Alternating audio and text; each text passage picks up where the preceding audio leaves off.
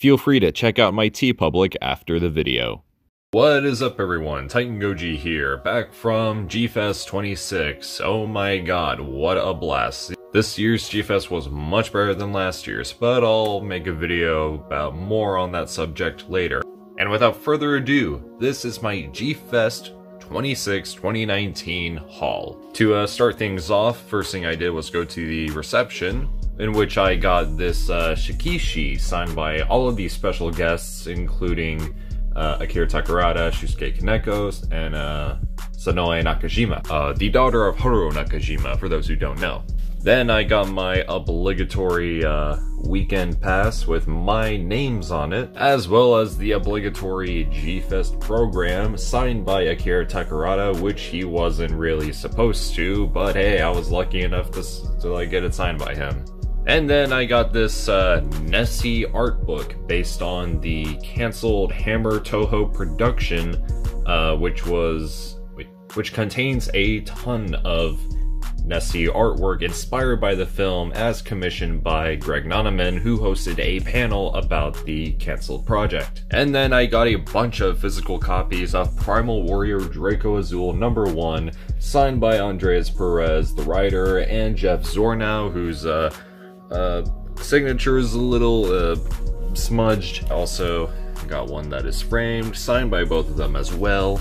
And as for like more art stuff, I got this uh, Banjo Minya, which I got from the Monstrosities panel on Friday. And I also got this pretty epic piece of Yongary versus Pulgasari by Larry Quatch. An individual by the name Jonathan Ware gave me some Gamera fan art here it is. Uh, thank you. Thank you very much, dude. I, I greatly appreciate that. And I also got Matt Frank's print for Howl from Beyond the Fog, which is signed by him and director Daisuke Sato as well. Now for more autograph stuff. Uh, I got Akira Takarada to sign my Criterion Blu-ray of the first Godzilla film. And then I got Shusuke Kaneko to sign my Gamera trilogy, which was previously signed by special effects director Shinji Higuchi, as well as my Blu-ray for GMK, as uh, you can see right there, and my Blu-ray for Death Notes 1 and 2. Alright, now we're going into the meat of the haul, or before the meat of the haul, I, I guess. Definitely one of the best purchases I've ever made in my life is a bootleg of Spider-Man. As you can see here, it is the complete series, which also includes the movie.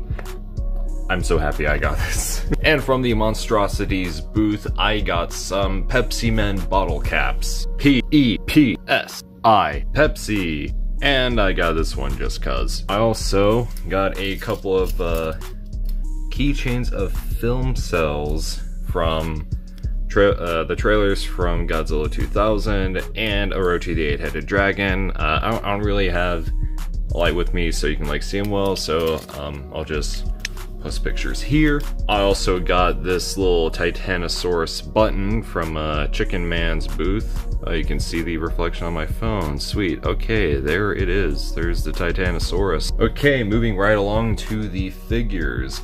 I purchased this Redman figure from my good friend Ian, aka Takatsu. Okay, this is pretty epic. And again from the Monstrosities booth, I got the Universal Studios Japan Godzilla vs. Evangelion Ghidorah. This is a really sweet figure. I really love this design. And I also got the Movie Monster series Godzilla King of the Monsters figures, starting with this very funny looking Rodan. God, I just just love it. And then we got Mothra over here. There's our boy. Along with our favorite golden galaxy destroying space dragon. And the third Ghidorah figure, which I also got from the Monstrosities booth, is the Godzilla Store exclusive GMK Ghidorah, which is really sweet. Like, it just looks like candy. I kind of want to kind of take a bite out of it, you know? Before I go into the crown jewel of this haul, which is like the last figure uh, in this little collection I got, I just want to show you guys some posters that I have framed as well. I got this poster of the film Yamato Takeru, aka Orochi the Eight-Headed Dragon. which is pretty freaking sweet if you ask me. I love this movie so much. I'm so happy that I got an official poster for it. Uh, I should probably try to pick up the theatrical program sometime eventually, which has the Noriyoshi Ohrai artwork on it. And when I went to go see Monster Zero at the Pickwick Theater, they were actually selling posters for Godzilla King of the Monsters since that movie isn't really playing in theaters anymore. So I went ahead and bought a poster myself and got it framed. Like, oh man, it's like ginormous. I mean, I'm, I'm sure you know it. Uh, I'll show it up. Oops. Like sideways. So, uh, like yeah, like this. It's huge. It's ginormous. Anyway, without further ado, the crown jewel of this haul is the convention exclusive M1 glow in the dark Jiras from Ultraman. There were only 60 of these, sold for $70 each. The hype for this figure was insane. Now, as always, like I'm sure every G-Fest, people camp out at like 4, 5 a.m., uh, like waiting in line for the dealer's room to open, which doesn't open until 10 o'clock.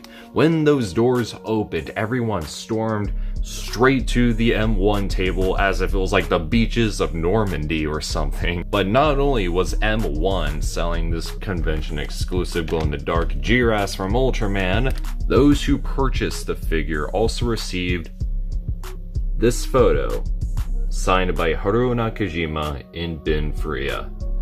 Fantastic. So that was my G-Fest 2019 haul. Hope you guys enjoyed. Uh, I'll definitely make a video about my experience at G-Fest this year, so expect that soon.